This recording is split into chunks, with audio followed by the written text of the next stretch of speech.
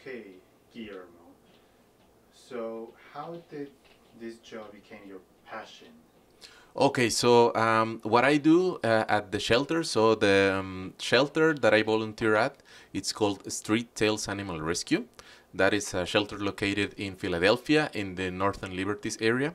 So uh, I started volunteering for Street Tails Animal Rescue, or STAR, where, how we uh, commonly know it, uh, about uh, seven years ago. And uh, really this became my passion because when I um, first got uh, my dog back in Mexico, I'm from Mexico and I moved here to the US. Um, he really changed my life. So he was a very uh, positive influence in my life. And uh, whenever I came back home, it was a very, very nice uh, feeling that I had when when he was around.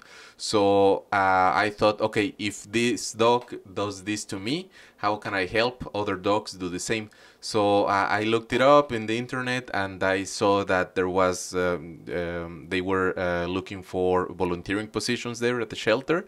So I started volunteering and it just grew on me. They they are uh, very affectionate uh, the creatures, the dogs that we the, that we um, volunteer with uh, at the shelter. So yeah, that really is what made me become passionate about it. Good. And how did you enroll into this business? So uh, um, when I started looking for options where I could volunteer, I actually uh, found uh, before I found the actual shelter, I've, I found this program called the Monster Milers. So the Monster Milers is a program in which we uh, run with the shelter dogs. So we go to the shelter, we take them out of their kennel, and just run with them for about two three miles however uh, many miles they need to run and then uh, you know it's a very uh, beneficial relationship for both of us for the runner and for the dog. For us we you know uh, it's a healthy uh, exercise. And for the dogs it helps them just uh, you know just uh, get some energy all of the energy that they have. They don't spend too much time at the kennels. So that's how i um, i found about the shelter actually through the monster milers through that running program that we have interesting and what is your biggest goal in this business? So my biggest call in the business is really um, just give uh, the, the dogs some time because as you know um, they are at the shelter while they're waiting for uh, for a forever home we call it.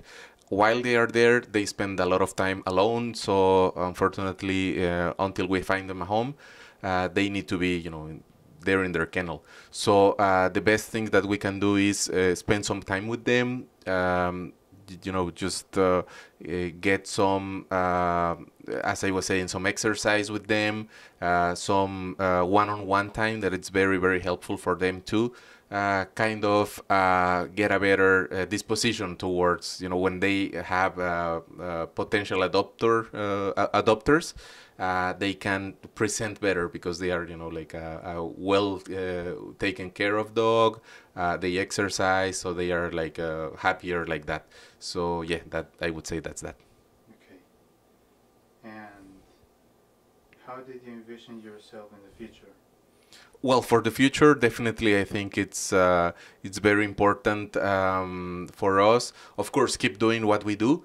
Uh, it as they say, you know, helping one dog is uh, might not change the world, but it changes it changes the world for them.